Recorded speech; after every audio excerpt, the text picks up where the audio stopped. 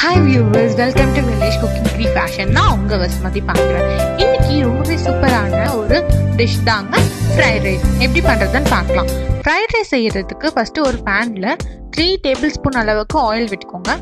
Oil நல்லா heat ஆனோடனே ஒரு இன்ச் அளவுக்கு ஜிஞ்சரும் கொஞ்சம் ஒரு நாலு பல் பூண்டு நல்லா ஃபைனாக சாப் பண்ணி ரெண்டுத்தையும் போட்டு ஃபஸ்ட்டு ஒரு வதக்கு வதக்கிட்டு ஒரு பச்சை மிளகாய் ஸ்லைஸ் பண்ணி போட்டுருங்க.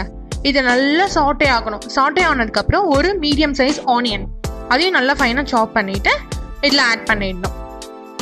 ஓரளவுக்கு வதங்கினட்டோன்ட்டு நம்ம வெஜிடபிள்ஸ்லாம் ஆட் பண்ண போகிறோம் இன்னைக்கு நான் ரெண்டு கேரட்டை திருகி வச்சிருக்கேன்.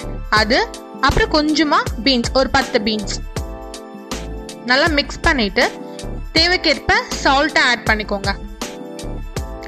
சால்ட் நல்லா வெஜ்ஜஸ் கூட மிக்ஸ் ஆனதுக்கப்புறம் கேபேஜ் நீங்கள் கேபேஜ் எவ்வளோக்கு எவ்வளோ போடுறீங்களோ அவ்வளோக்கு அவ்வளோ உங்கள் ஃப்ரைட் ரைஸ் ரொம்பவே டேஸ்ட்டாக வரும் ஹோட்டலில் கிடைக்கிற மாதிரி.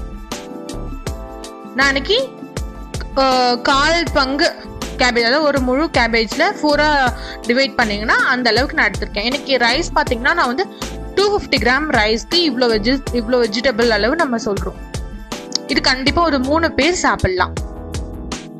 நல்லா மிக்ஸ் ஆகட்டும்னு நம்ம சாஸ் ஒன்று ஆட் பண்ணிடலாம்.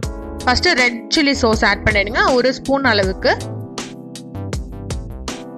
அப்புறம் க்ரீன் சில்லி சாஸ் ஒரு ஸ்பூன்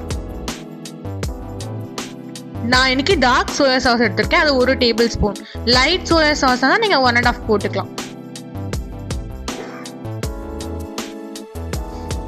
சாஸையும் போட்டு நல்லா மிக்ஸ் பண்ணி விடணுங்க.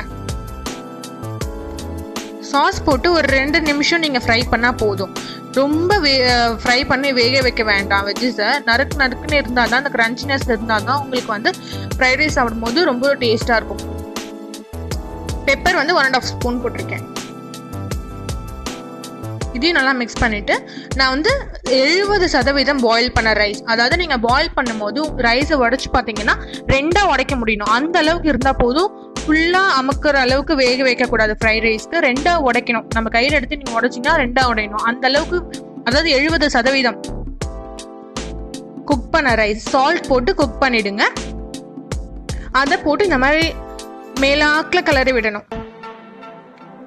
ரைஸ் போட்டு ஒரு டூ மினிட்ஸ் நீங்கள் வந்து எல்லாம் ஃபுல்லாக எல்லா சைடும் மிக்ஸ் ஆகிடுச்சுனாலே சூப்பரான ஃப்ரைட் ரைஸ் தயாராகிடும் கண்டிப்பாக இதை ட்ரை பண்ணுங்கள் ரொம்பவே ஈஸியான ஒரு டிஷ் வெஜிடபிள்ஸ்லாம் இருக்கிறதுனால ஹெல்த்தியும் சொல்லலாம்.